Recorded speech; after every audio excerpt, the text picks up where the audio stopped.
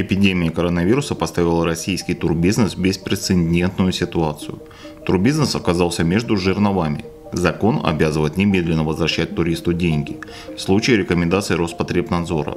Самому же туроператору деньги не возвращает никто, ни отели, ни перевозчики. При этом даже те скромные меры поддержки, которые удается добиться от органов власти, повисают в воздухе. Так описала ситуацию на пресс-конференции исполнительный директор Ассоциации туроператоров России Майя Ламидзе. Такой беспрецедентной ситуации, в которой оказался турбизнес в связи с коронавирусом, ни разу не было за последние 25 лет. На данный момент есть действующие рекомендации Ростуризма и Роспотребнадзора. Последняя из них включает три страны – Южная Корея, Иран и Италия. Туркомпаниям ведомства не рекомендуют реализовывать в эти страны турпакеты и отдельные туруслуги. При этом срок действия запрета никак не обозначен. Эксперт добавил, что ведется агрессивное информирование потребителя о том, что такое коронавирус? Туристы, по словам эксперта, разделились на три основных категории. Первые внимательно слушают и требуют аннулировать все поездки. Это касается не только закрытых стран, но и других направлений, включая Россию. Вторая группа – это в основном туристы, планировавшие поездку в Италию, а также в Южную Корею, если речь идет о туристах из Приморья и Сибири. Они заявляют туроператорам, что мы ничего не боимся, как хотите, так и отправляйте. Туроператоры при этом рискуют получить ответственность, вплоть до уголовной, если турист вернется хотя бы с насморком. Третья группа туристов наиболее многочисленна.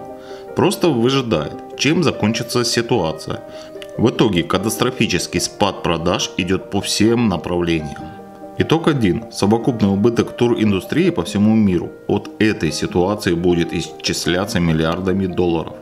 Для российского туристического рынка при этом общие проблемы оборачиваются дополнительными сложностями. Рынок туризма оказался между всеми жерновами сразу. Закон обязывает его вернуть туристу все деньги, причем немедленно, а сделать это фактически невозможно. Потребителям эту невозможность власти не объяснили. Партнеры и авиаперевозчики, которые в этой ситуации несут свои убытки, заявляют туроператорам следующее. Мы вам ничего не вернем. И с этим нереально что-либо сделать. Закон требует, как хотите, так и возвращайте. При этом эксперт подчеркивает, что под ударом только легальный бизнес, который зарегистрирован и платит налоги. Все агрегаторы билетов и гостиниц работают без всяких ограничений. Турист может забронировать самостоятельную поездку в любую из нерекомендованных стран. Более того, озвученные в поддержку турбизнеса на совещаниях власти с туроператорами такие как отсрочка выплат ряда налогов, отсрочка сдачи взносов в резервный фонд, оказались лишь пустыми словами.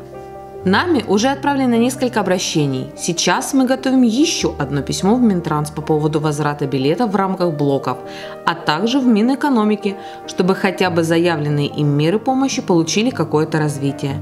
Но в настоящий момент ничего не происходит. Нет никаких попыток договориться с авиаперевозчиками. Было предложение вернуть туроператорам хотя бы их средства из фондов персональной ответственности. Также никакого движения. Такое ощущение, что используются любые возможности, чтобы спихнуть всю ответственность на форс-мажор по коронавирусу на турбизнес. Подчеркнула Майя Ламидзе. При этом эксперт отметил, что с одной стороны туристический рынок понимает, что бессмысленно дожидаться от государства какой-то финансовой помощи. На сегодняшний день сумма убытков составляет около 27 миллиардов рублей. В нее включены платежи партнерам, которые невозможно вернуть. Что касается прогнозов, то они пессимистичны даже по внутренним направлениям. Сейчас мы наблюдаем спад по нашим курортам до 22%. При сохранении истерики этот спад будет таким же.